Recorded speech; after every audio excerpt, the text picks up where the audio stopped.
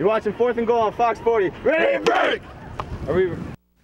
When it comes to area rivalries, few get the blood pumping on either side like the Chenango Civil War. Chenango Forks, Chenango Valley, the Blue Devils dominating the gridiron, winners of 20 straight.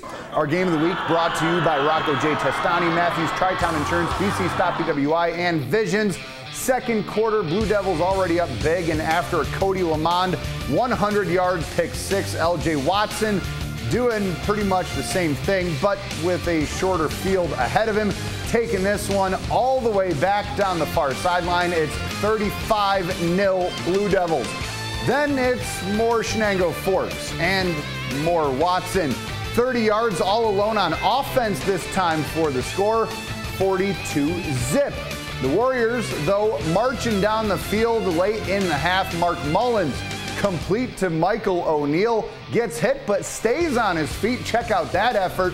Finally, forced out of bounds at the 23, but that success is short lived. Mullins picked off by Robert Story, and that closes the book on the half. It's a 42 point game into the locker room. So we go to the third, and the Blue Devils keeping most of the starters on the bench, but the Forks still able to move the ball on that CV defense. Third and goal, Gunner Giordani down to the half yard line, but not yet across the plane. So on fourth and goal from the one, you got to go for it. And Giordani into the end zone.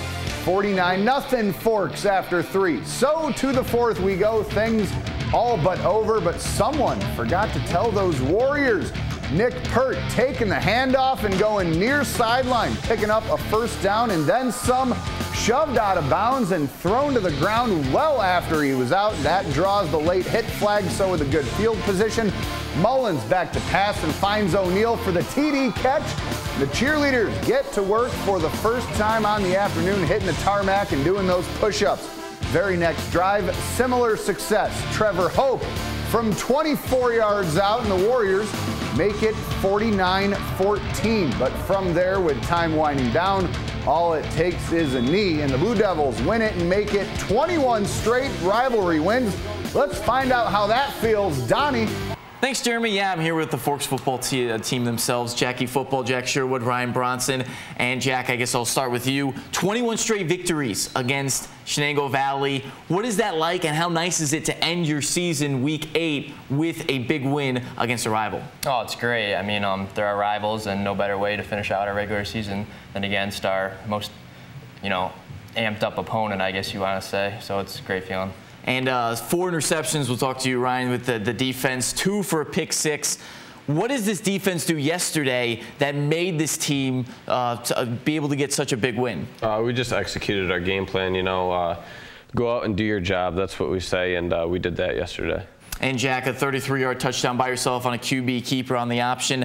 That option's been working all year. It's pretty much a Forks Blue Devils staple of success, and you run it perfectly. That's why I call you Jackie Football. You move and sway in and out between defenders scoring.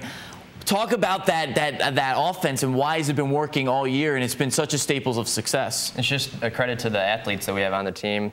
Our guys prepare really, really well, and then they just go out and execute and LJ Watson a big game. But going back to the defense, let's talk a little about Waverly next week. Their big opponent, Peyton Miller, airing it all the time. Four interceptions, as I said, this week. What do you guys need to do next week to stop the aerial attack of the Wolverines? Uh, we just need a good week of practice. Uh, just do your assignment, like I said earlier, and uh, if you do your job, it'll it'll all work out and you guys finished the regular season with only one loss, getting ready for a postseason run, playoff run.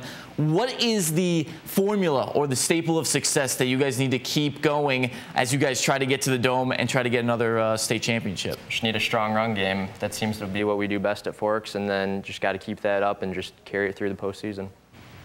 What do you think uh, you guys need to continue to do? Uh, is it uh, continue the run? Uh, is there anything that you guys think you need to change up a little bit as you guys go into the, the playoffs? I think we just got to keep a level head. Uh, don't get ahead of ourselves. Take it week by week and uh, play power football and you guys, uh, you know, were able to rest a little bit You're, you, with, uh, you know, getting the second and third team in there for a, a, a, big win. How nice is it, you know, getting some rest before a huge game that, that starts uh, next week? Oh, it's great. Um, you know, being able to get some rest and watch all the other teammates play that usually don't get to play as much. It's really nice and a credit to how hard everyone works. Yeah, it's great. Uh, you know, they uh, prep us all week and they do a great job of it. Uh, we say we want them just as good as the other team is, and they do a great job for us every week. So it's great to see them in there. Well, it'll be great to see you guys make another postseason run, become state champs, and we'll be the ones uh, covering it uh, throughout the whole time. And uh, that's it for them. But next is No Huddle. They know a little bit about that. Coming up next on Fox 40.